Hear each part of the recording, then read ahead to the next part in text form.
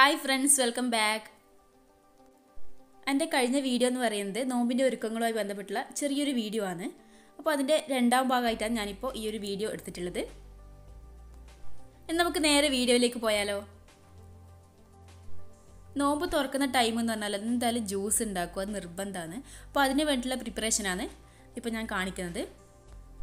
ഞാനിവിടെ മുന്തിരി മാങ്ങി എടുത്ത് വെച്ചിട്ടുണ്ടായിരുന്നു. അതിൽ മുന്തിരി നല്ലോണം വൃത്തിയായി കഴുകിയതിന് ശേഷം അതിൽ മുങ്ങാൻ പാകത്തിന് വെള്ളം ഒഴിച്ചിട്ട് വേവിക്കാൻ വെച്ചതാണ്.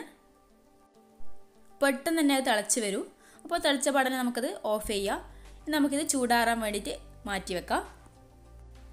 ഞാനിപ്പോൾ മാങ്ങ നല്ലോണം കഴുകി വൃത്തിയാക്കി വെച്ചിട്ടുണ്ട്. നമുക്കിത് കട്ട് ചെയ്ത് കൊടുക്കാം.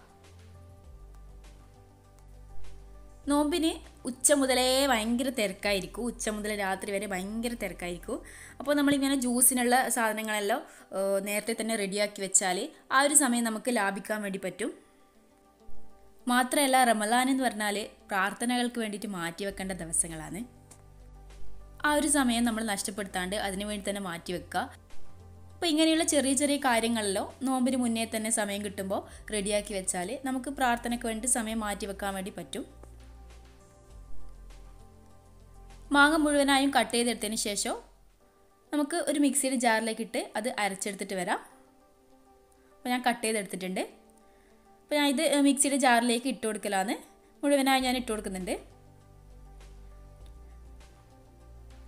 എന്റെ നല്ലോണം അരച്ചെടുത്തിട്ട് വരാം. അപ്പോൾ ഞാൻ അരച്ചെടുത്തിട്ടുണ്ട്. ഇനി നമുക്കിത് ഒരരിപ്പയിലൂടെ അരിച്ചെടുക്കാം. അപ്പോൾ ഇങ്ങനെ മാങ്ങ അരിച്ച് വെച്ചാൽ അതിലെ ചെറിയ ചെറിയ നാരലില്ലേ അതെല്ലാം നമുക്ക് കളയാം.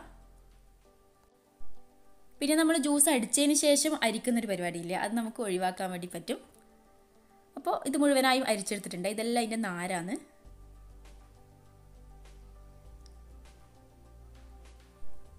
ഇനി ഞാനിതൊരു ബോക്സിലേക്ക് മാറ്റി കൊടുക്കലാണ് അപ്പോൾ ഇങ്ങനെ നമുക്ക് ഫ്രിഡ്ജിലാണ് വെക്കുന്നതെങ്കിൽ രണ്ട് ദിവസം മൂന്ന് ദിവസം വരെ കേടുകൂടാണ്ട് സൂക്ഷിക്കാൻ വേണ്ടി പറ്റും. പിന്നെ അതിൽ കൂടുതൽ ദിവസം വേണമെങ്കിൽ നമുക്ക് ഫ്രീസറിൽ വെച്ചിട്ട് സൂക്ഷിക്കാം. അപ്പോൾ മുന്തിരി ഞാൻ ഒരു ബോക്സിലേക്ക് മാറ്റി കൊടുക്കലാണ്. അത് നല്ലോണം ചൂടെല്ലാം പോയിട്ടുണ്ട്. അത് ആ സമയത്ത് തന്നെ അടിച്ചെടുക്കലാണ് കേട്ടോ. ഇപ്പം അടിച്ചിട്ട് വെക്കുന്നൊന്നുമില്ല. ഇത് രണ്ടും ഞാൻ ഫ്രീസറിൽ തന്നെ സൂക്ഷിക്കുന്നത് ഇനി ഞാൻ ചെയ്യുന്ന വെച്ചാൽ പാൽ ക്യൂബാക്കിയിട്ട് മാറ്റലാണ്. അപ്പോൾ നമുക്ക് എളുപ്പത്തിൽ ജ്യൂസെല്ലാം അടിക്കുമ്പോൾ എളുപ്പത്തിൽ നമുക്കിത് ഉപയോഗിക്കാൻ വേണ്ടി പറ്റും. പാലിൽ നമ്മൾ പാക്കടക്കം അങ്ങനെ ഫ്രീസറിൽ വെക്കൂ. എന്നിട്ട് കട്ടായി കഴിഞ്ഞാൽ ജ്യൂസെല്ലാം അടിക്കുമ്പോൾ നമുക്ക് എന്തായാലും പൊട്ടിച്ചാലും പൊട്ടിച്ചാലും പൊട്ടൂല. അപ്പോൾ ഇങ്ങനെ ക്യൂബാക്കി വെച്ചാൽ നമുക്ക് ജ്യൂസ് അടിക്കുമ്പോൾ എളുപ്പമായിട്ട് നമുക്ക് ഉപയോഗിക്കാൻ വേണ്ടി പറ്റും. അപ്പോൾ ഞാനിത് ഫ്രീസ് ചെയ്തെടുത്തിട്ടുണ്ട് ഇനി ഇത് ഞാൻ ഒരു ബോക്സിലേക്ക് ഇട്ട് കൊടുക്കലാണ്. അപ്പോൾ ഇങ്ങനെ ബോക്സിലേക്ക് ഇട്ടതിന് ശേഷം പെട്ടെന്ന് തന്നെ നമുക്ക് ഫ്രീസറിൽ വെക്കണം? അല്ലെങ്കിൽ ആ പാൽക്കട്ടയെല്ലാം അലിഞ്ഞു പോവും. അപ്പോൾ മുഴുവനായി ഞാൻ ഇട്ട് കൊടുക്കലാണ്. എന്റെ ചാനൽ ആദ്യമായിട്ട് കാണുന്നവരാണെങ്കിൽ ഒന്ന് സബ്സ്ക്രൈബ് ചെയ്ത് സപ്പോർട്ട് ചെയ്യണേ. തൊട്ടടുത്തുള്ള ബെൽ ബട്ടൺ കൂടി ക്ലിക്ക് ചെയ്തിട്ട് ഓൾ എന്ന ഓപ്ഷൻ കൊടുത്താൽ ഞാനിരുന്ന എല്ലാ വീഡിയോസ് നിങ്ങൾക്ക് നോട്ടിഫിക്കേഷനായി ലഭിക്കും. അപ്പോൾ നമുക്കിത് പെട്ടെന്ന് തന്നെ ഫ്രീസറിൽ വെച്ചിട്ട് സൂക്ഷിക്കാം. അടുത്തതായിട്ട് ഞാൻ ചെയ്യുന്നത് വെച്ചാൽ കുറച്ച് പഞ്ചസാര പൊടിച്ച് വെക്കലാണ്. നമ്മൾ എന്തായാലും നോമ്പിന് ലൈം ഉണ്ടാക്കൂലേ? അപ്പോൾ അതിനെല്ലാം നമുക്ക് ഉപയോഗിക്കാൻ എളുപ്പമായിരിക്കും പൊതുവേ നമ്മൾ ലൈമെല്ലാം ഉണ്ടാക്കിയാൽ പഞ്ചസാര ഇട്ടിട്ട് എത്ര ഇളക്കിയാലും അത് അലിയാത്ത പോലെയാണ്. അപ്പോൾ ഈ പഞ്ചസാരപ്പൊടി അതിന് ഉപകാരമായിരിക്കും. അപ്പം നമുക്കിത് ഒരു കുപ്പിയിലിട്ട് അടച്ചു വെക്കാം. ഇനി നമുക്ക് പ്രധാനമായിട്ട് വേണ്ട ഒന്നാണ് തേങ്ങ എന്ന് പറയുന്നത്. തേങ്ങ ഞാൻ കുറച്ച് ചിരകി വെച്ചിട്ടുണ്ട്.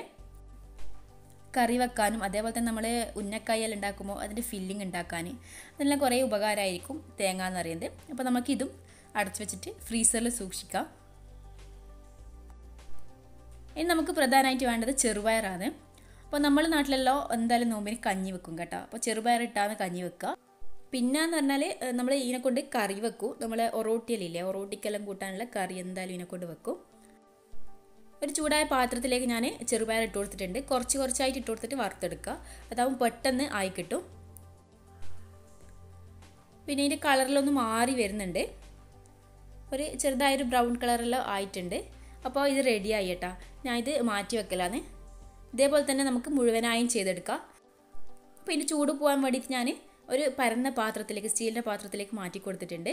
ഇതിന്റെ ചൂട് പെട്ടെന്നൊന്നും പോകില്ല കേട്ടോ കുറച്ച് സമയം എടുക്കും.